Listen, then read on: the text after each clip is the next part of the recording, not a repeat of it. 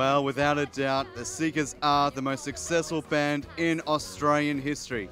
And tonight we are going to celebrate that with the world premiere of Georgy Girl, the Seekers musical, now showing at Her Majesty's Theatre.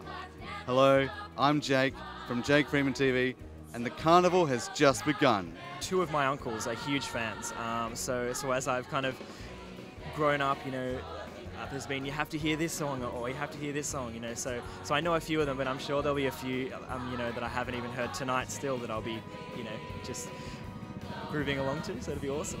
I've just seen them in the flesh, and that was I was a little bit starstruck, so that was very exciting. But yeah, no, it was the old, you know, playing the songs, miming into the hairbrush, the whole thing. It was great. And uh, it's a wonderful night tonight that they be celebrated in this way. And I wish them well. I hope it's a, a huge success. I'm very excited. I well, I just love them as a group, as everybody else does, and they've been around for so long as we have. So we'll just enjoy the show.